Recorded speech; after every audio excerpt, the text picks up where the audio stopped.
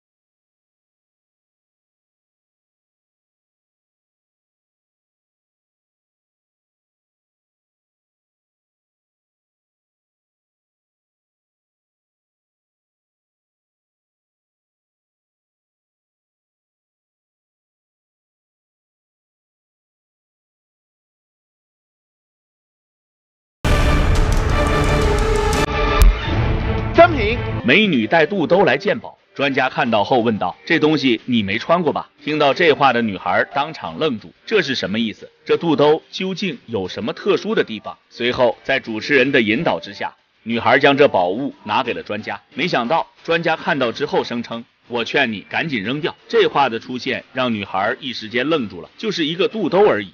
怎么还要自己扔掉？随后专家解释道：“你这可不是简单的肚兜。首先，在我们日常所看到的电视剧中，应该不难观察到，他们所穿的一般都是红色的。但是你今天带来的这个却是蓝色的。这种颜色的肚兜在历史上非常罕见。其次，上面的绣花也是非常的有讲究，一般都是牡丹、菊花一些大气的花。而这个肚兜。”不仅四周修满了各种的花花草草，上面还有一些玩游戏的小人儿。与其说是一件肚兜，不如说是一件艺术品。从刺绣的工艺上可以看出来，这肚兜的制作花费了不少功夫。听到这话的女孩表现得十分开心，看来自己这是买到好东西了呀。那为什么之前要让自己扔掉呢？随后，专家又说：“但是这东西不吉利，不吉利。”女孩听到这话，十分的诧异。随后，专家又问道：“这肚兜你没有试穿过吧？”听到这话的女孩子一瞬间红了脸，不好意思的说道：“本来自己刚买回来的时候是打算放到那儿收藏的，但是我老公说，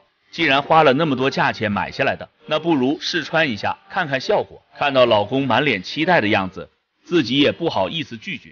于是就穿上去试了一下，倒也是说来奇怪，在自己没穿着肚兜之前，还没发现有什么奇怪的地方。就试穿过那一次之后，肚兜的颜色好像比之前变得更深了。刚开始的时候还以为是自己的错觉，之后老公也给我说了这个事情，然后我就觉得这肚兜不简单。不过对于这些事情，我也没有多想，我就试穿了那么一会儿，应该没事儿吧。专家回答道：“像古玩市场淘来的东西，一般都不知道来源是哪里。不过，如果是短暂的试穿一下，也没什么事情。以后还是不要这样做了。毕竟，如果这真的是百年以前的东西的话，那很难说是不是从古墓里面挖出来的。”听到专家的话，女子脸上的笑容一时间呆住了。